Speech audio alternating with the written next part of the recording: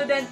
And what we are doing today is to determine the fingerprint classification of my last output, which is the recording of fingerprint. So matatandaan po natin is nirecord ko po yung fingerprint ng aking nagpamangkin na si JR. So this is the fingerprint card that we used last time. So let's proceed to the classification of fingerprint. So in classification of fingerprint is we have four steps to be followed. The first step is the filling out and recording. The second is interpretation of patterns. The third is the blocking out. And the last step is the classification proper. So let's proceed for the filling out and recording. So in filling out and recording is we are putting general information concerning about the subject. So kung ating matatandaan is naglagay po tayo dito sa upper part ng mga name, age, address, mga al- alias ni Kuya JR. So it is placed on the upper part of the fingerprint card. So, recording is the one that we did last time. So, yun na po yung recording. Filling out and recording is let's proceed to the interpretation of patterns. So, i-interpret na po natin yung mga patterns na ating na-record last time. Titignan po natin as examiner kung anong klaseng pattern nga ba yung mga na-record natin each block in the fingerprint card. So, kung matatandaan po natin is we have 8 standard patterns which is the plain arc, dented arc, radial loop, ulnar loop, plain wall, central pocket loop whorl, double loop whorl, and the last is the accidental whorl. So, i-interpret na po natin kung anong mga pattern tong nasa ating fingerprint card.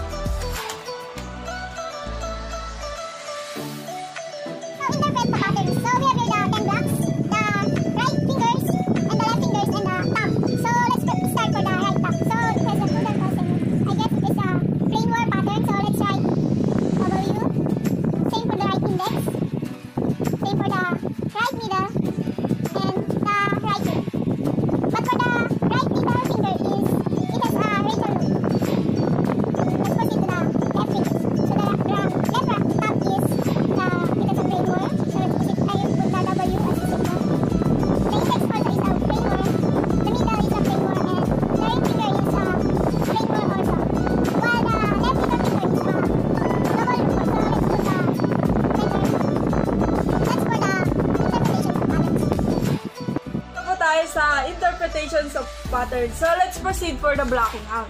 So, the third step is blocking out. So, when we say blocking out, it is the placing in a fingerprint card the result of the interpretations of all 10 patterns. So, it can be letters, numbers, or symbols that represent each of the rolled print. So, kung ating pong titignan, ang ating pong unang pattern na meron is the right thumb, which is the has plain whorl. So, whorl po ang ating first block. So, magre-ridge tracing po tayo. So, when we say ridge tracing, it refers to the positions of delta in a whorl relative to each other. So, pag wala ang pattern, meron tayong tinatawag na MIO guidelines o MIO. M stands for meeting, IN stands for inner, and O stands for outer. So, when the ridge count of 0 to 2 below or above the right delta, it will be a meeting. When the ridge count 3 or more above the right delta, it is an inner. And when it's the 3 or more below the right delta, it, was called outer. So, mag-start na po tayo. Meron po ako ditong duplication ng copies ng ating mga pattern. Ito po. So, magre-ridge tracing na po tayo.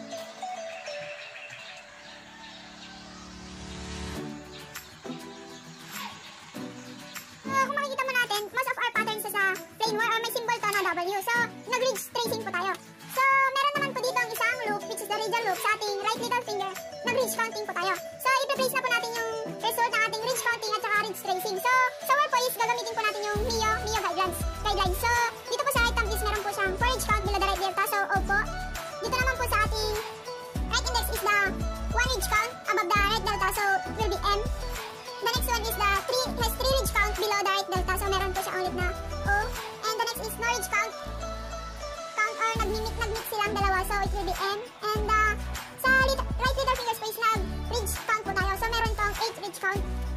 And let's proceed to the left fingers. So, the first is the left thumb.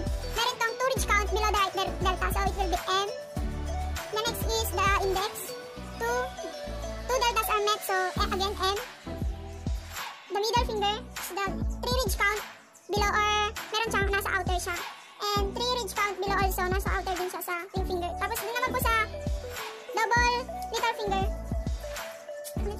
Dito po sa ating left little finger is meron po siyang double looper. Looper, meron po kasi tayong, normally po, pag word yung pattern natin is magre-ridge tracing tayo.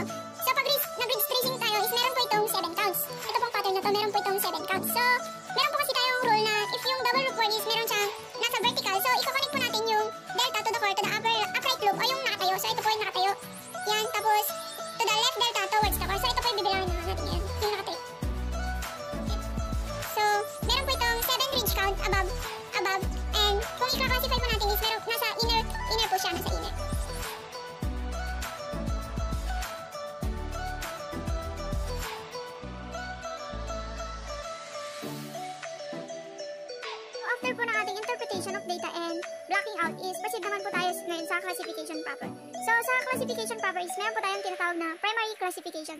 So, in primary classification, all fingers are involved. Ang i-memorize lang po natin is yung numerical value niya sa taas and proper replacement.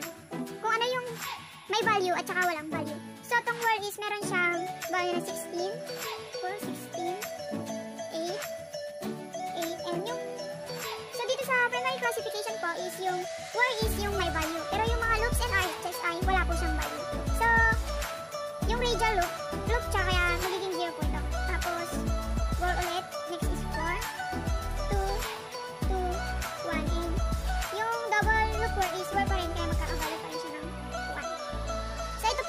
number dito is the sequence of number. 1, 2, 3, 4, 5, 6, 7, 8, 9, 10. So, ang una po natin gagawin is yung determine the numerator and denominator. Pag numerator po is always na yung numerator natin is yung mga even numbers. Ito yung 2, 4, 6, 8, 10. Tapos yung magiging denominator naman po natin is yung mga odd numbers. So, proceed na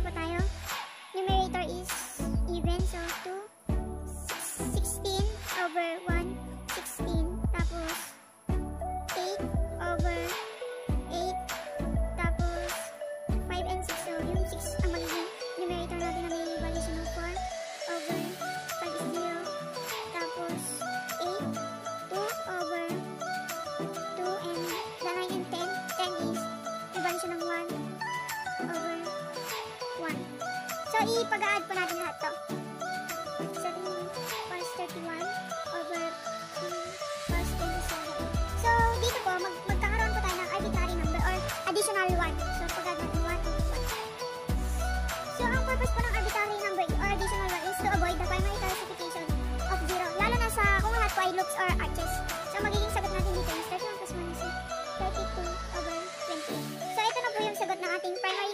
classification sa ating recording na ginawa last time.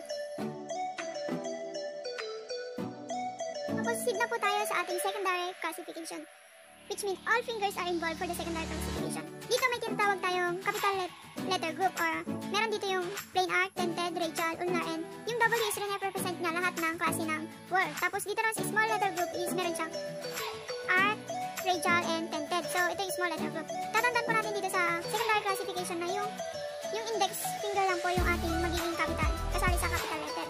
So pag pag dito po yung mga small na po wag na po natin isali. So art dapat meron siya sa art. W wala siya sa art. So leave na lang po natin blank. Tapos yung dito sa capital letter group meron siya W which is the framework. Susulat po natin dito. Tapos dito na po mga small letter na po. So W wala sa art. W wala sa art. Tapos yung radial loop is meron siya. So ilalagay po natin siya dito. So next is the denominator. W wala sa W? Magiging capital letter group po ito kasi index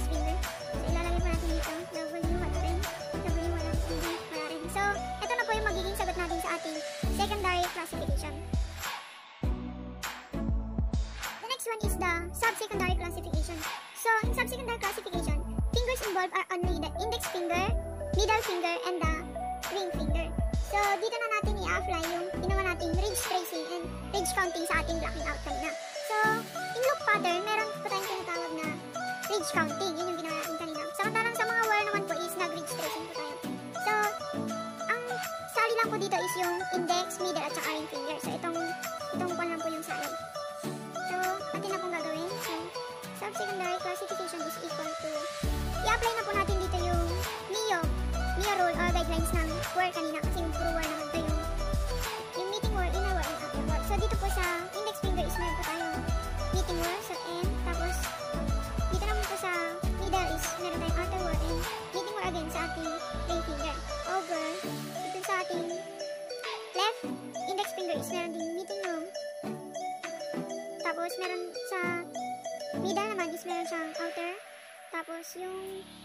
Ring finger is meron siyang outer ulit. So ito na po yung magiging sagot natin sa ating secondary classification.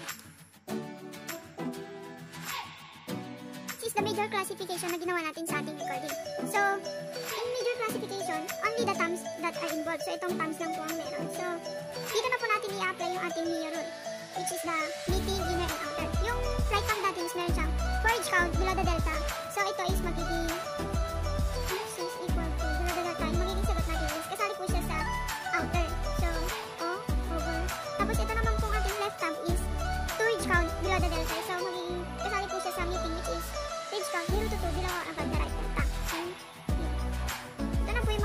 natin sa ating major classification. Next is the final classification.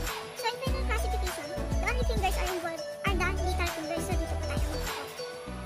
So words will be treated as a loops or unang loops. So ito po, FC is equal to, itong original loop natin is meron siyang 8 ridge count. So lalagay po natin 8. Tapos ito namang double loop natin is nag-ridge counting po tayo. Pero may rule, rule kasi tayo na words will be treated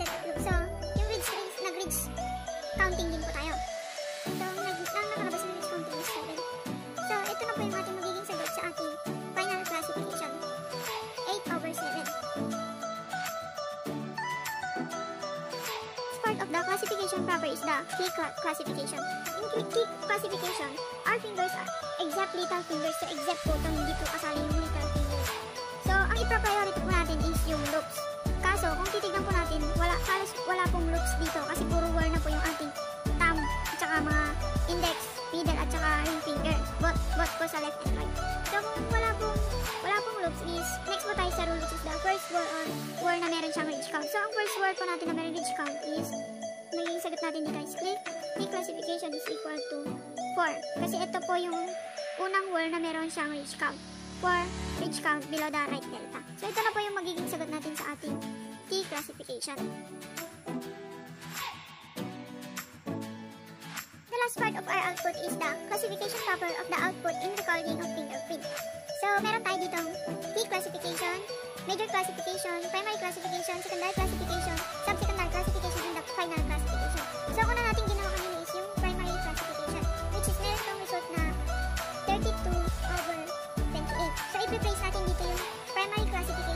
which include all fingers. Ito na po yun. So, next natin ginawa is the secondary classification. So, in secondary classification, all fingers are involved, especially the index finger. So,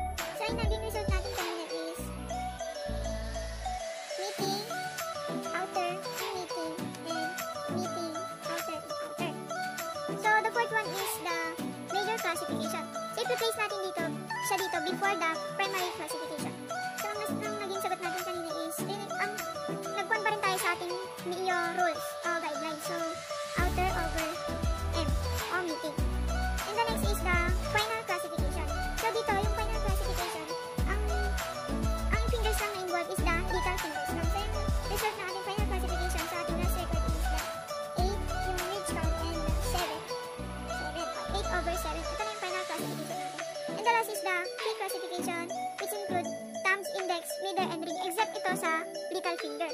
So, ang naging result natin is wala siyang loops kanina. So, nagkuhan tayo sa ating ating first loop which is the 4 inch count. So, nalagyan natin dito 4. So, ito na po yung kinalabasan ng ating classification problem sa ating out plus output ng recording of fingerprint na si Kuya JR. So, ito na po.